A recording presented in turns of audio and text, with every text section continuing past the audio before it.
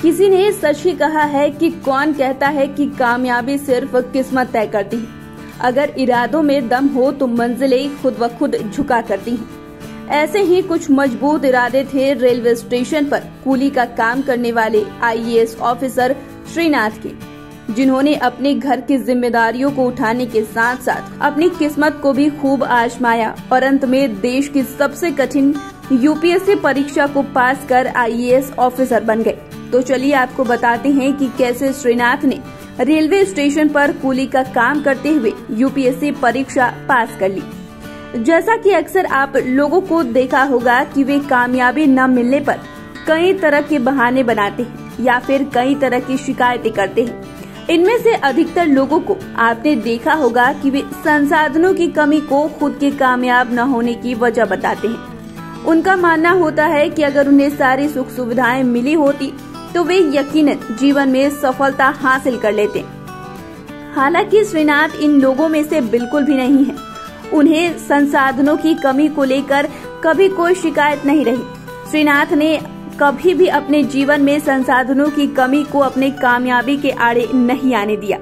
वो हमेशा आपदा को अवसर में बदलने की सोच रखते थे और इसी कारण से वे अपने जीवन में एक नया मुकाम हासिल करने में सफल रहे।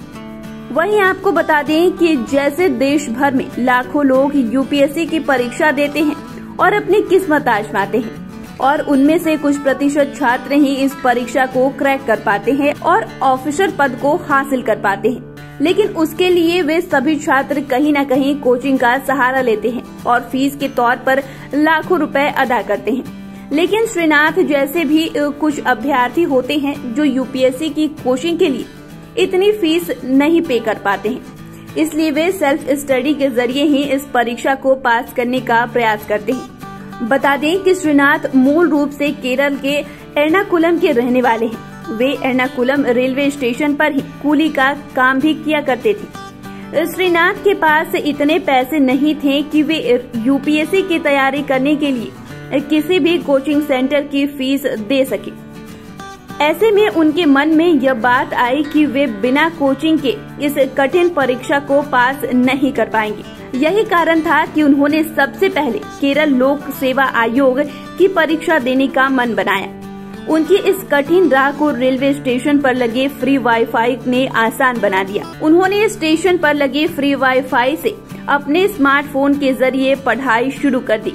यह फ्री वाईफाई श्रीनाथ के लिए किसी वरदान से कम नहीं था। वहीं यहाँ कूली का काम करते थे और जब जब उन्हें समय मिलता था, वे परीक्षा की तैयारी करने लगते थे। सच्ची लगन और मेहनत के ज़रिए श्रीनाथ ने केरल लोक सेवा आयोग की परीक्षा पास कर ली। इस परीक्षा में सफलता हासिल करने के बाद श्रीनाथ के मन में यह ख्याल आया कि वे रेलवे के फ्री वाईफाई की मदद और अपनी सच्ची लगन के ज़रिए यूपीएससी की परीक्षा भी पास कर सकते हैं।